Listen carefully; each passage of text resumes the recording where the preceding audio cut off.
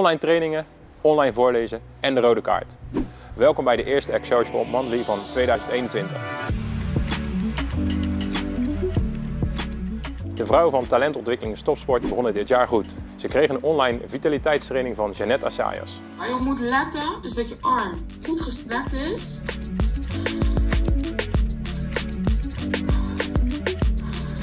En Sascha Bertes legt uit hoe je de beste versie van jezelf kunt zijn. Het was de week tegen racisme bij de Excelsior Clinics. We bespraken dit onderwerp in de wijken en gaven gezamenlijk racisme de rode kaart. Niet één, niet twee, maar drie nieuwe Excelsior Schools. We verwelkomen de Johannes Martinus School, het Comenius College Capelle en Melanchthon Wilgenplaslaan als nieuwe Excelsior Schools. De nationale voorleesdagen werden dit jaar online gehouden. Onze selectiespelers Thomas Oudekotte, Maarten de Fokkert, Simara van der Valk en Julia Ibers lazen voor. Leuke voetbalavonturen. Het is ook een stuk leuker dan alleen maar op je iPad zitten thuis of naar de tv kijken.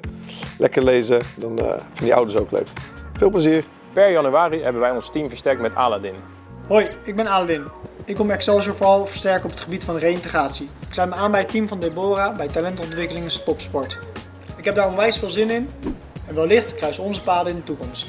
Welkom en succes Aladdin. Goed en mooi nieuws. Stichting Excelsior en Team Creative and Digital Agency hebben de samenwerking verlengd. Rondom de Excelsior Monthlies gaan we mooie dingen doen dit jaar. Tot de volgende Monthly.